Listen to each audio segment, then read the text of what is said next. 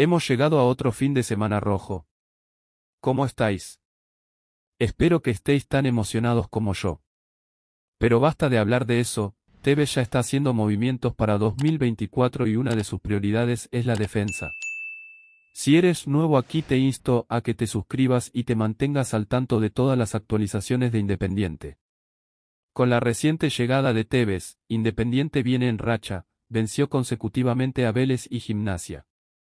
Y ahora, Tevez se prepara para la Copa Argentina, donde se enfrentará a estudiantes en octavos de final, una oportunidad para brillar en competiciones internacionales el año que viene.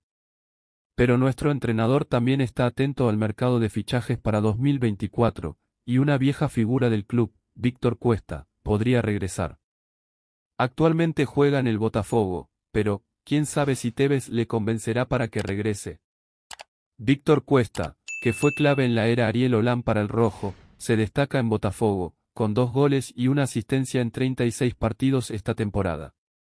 ¿Qué te parecen estos movimientos? Déjanos tus comentarios a continuación. Y si eres nuevo aquí, suscríbete y mantente al día con todas las actualizaciones de Independiente. No te olvides de dejar un like si te gustó el vídeo. Gracias, rojos.